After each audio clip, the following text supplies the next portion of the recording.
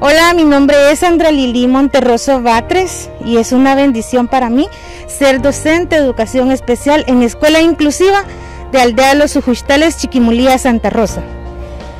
El día de hoy quiero presentarles a un estudiante, su nombre es Giancarlo David Ambrosio y Ambrosio. Él tiene una necesidad educativa especial de problemas de lenguaje y quiero que me acompañen a verlo en este momento. ¡Vamos! Para mí es un gusto estar con doña Edilia Ambrosio y Ambrosio, mamá de Giancarlo David, que cuenta con 11 años de edad. Y doña Edilia nos va a dar un relato de la vida de Giancarlo.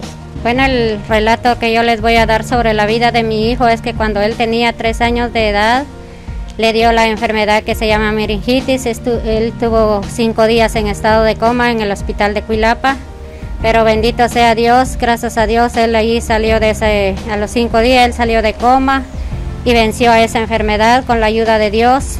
Y pues a mí me ha tocado duro porque pues me ha tocado solo estar con ellos porque yo soy madre soltera. El papá de ellos falleció cuando yo estaba embarazado de él. Y gracias a Dios ahorita en su aprendizaje de su estudio, pues me han ayudado bastante, gracias a Dios, a la maestra que la ha tocado, licenciada Lili, con su apoyo, tanto como moral y también en su estudio. Él ahí por esa enfermedad le cuesta un poco hablar el, pues su vocabulario, le afectó bastante, pero gracias a Dios con la ayuda de él y de, la maestra, pues gracias a Dios él ha aprendido bastante ya en su estudio, ha avanzado bastante.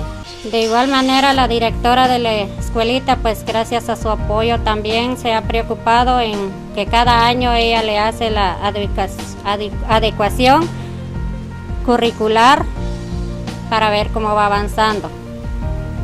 Y gracias a Dios, pues ahorita pues en los, las visitas de señor Lili en, domiciliarios también avanzando bastante. Las estrategias utilizadas durante el tiempo de pandemia con el alumno Giancarlo han sido las siguientes. El abecedario en lenguaje de señas. Vamos, Giancarlo, a repasar el, el abecedario en lenguaje de señas. A, B, B, C, Che. Continuamos jugando con las sílabas. ¿Cómo dice aquí, Giancarlos? Pa, pa. ¿Y si cambio? ¿Cómo dice? P. Muy bien, Giancarlos. Hoy queremos decirle a todos los docentes de todo el país y de todo el mundo por una educación inclusiva con amor.